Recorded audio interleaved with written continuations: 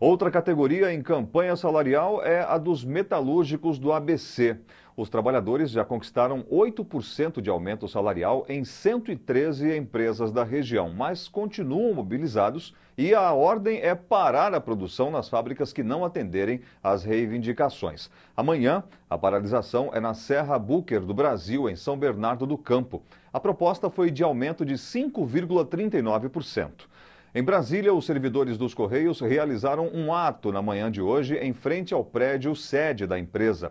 A paralisação já atinge 21 estados e o Distrito Federal. Com faixas, apitos e um carro de som, os funcionários dos Correios tentaram chamar a atenção da direção da empresa para a pauta de reivindicações. Em greve há seis dias, representantes de diversos estados vieram a Brasília para participar do ato.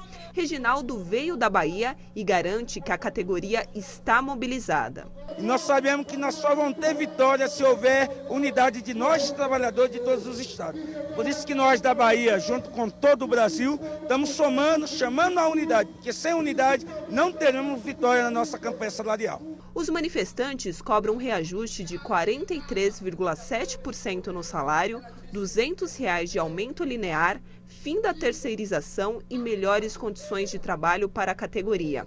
Em audiência de conciliação entre os dirigentes dos Correios e a Federação Nacional dos Trabalhadores em empresas de Correios, telégrafos e similares, a Fintect não houve acordo. Uma nova audiência foi marcada para amanhã no TST. A nossa expectativa é que a empresa saia dessa intransigência e venha negociar com a gente as nossas reivindicações. Nós queremos a contratação de 30 mil novos funcionários, nós queremos o fim das horas extras, fim da convocação no final de semana, que está fazendo com que o trabalhador dos Correios adoeça. Nesse sentido, nós queremos discutir essas reivindicações que são preeminentes da nossa categoria. Os químicos entregaram hoje a pauta de reivindicações para o setor patronal. Eles pedem reajuste de 12%, PLR mínima de R$ 1.400 e piso salarial do mesmo valor.